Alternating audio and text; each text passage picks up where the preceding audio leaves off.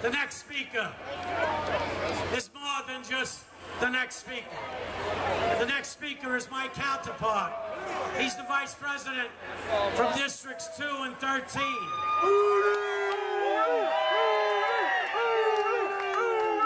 There are buses after buses after buses after buses of people, members from districts 2 and 13 here.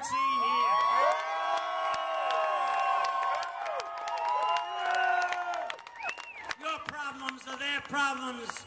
Your goals are their goals. Your unity is their unity.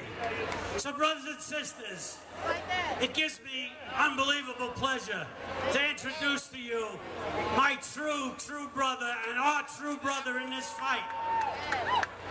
The Vice President from CWA District 2 slash 13, the newly elected Vice President of CWA last uh, 213, my brother, your brother, my friend, your friend, Ed Mooney.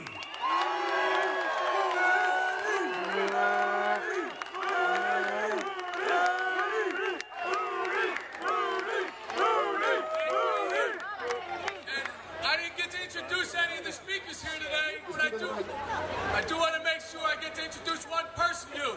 In case you haven't been introduced to Lowell McAdam, he's the corporate pig standing right here next to us, who's after every one of our benefits as of August the 1st. Everybody say hi, Lowell! Louder! That piece of shit. You've heard now from all of our allies in this struggle and people who've come here to help us fight this fight. But now we must take this fight into every one of Verizon's workplaces over the next seven days. Each one of us accountable for bringing that fight into the face of every one of these pigs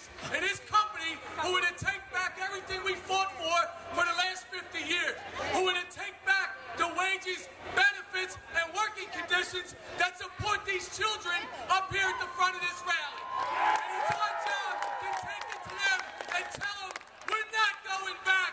They're not getting it back. And if they think they're going to get it back, they better get out here now because there's blocks and blocks of people to tell them we're not going back.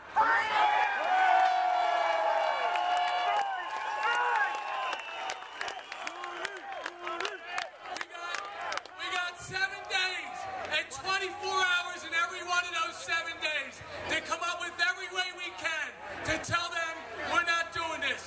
To take every proposal off of that bargaining table because we're not taking it. Every single day, every minute, there's one thing we can't do for one minute in these next seven days, and that's sit on our asses and think somebody else is going to take on this fight for us.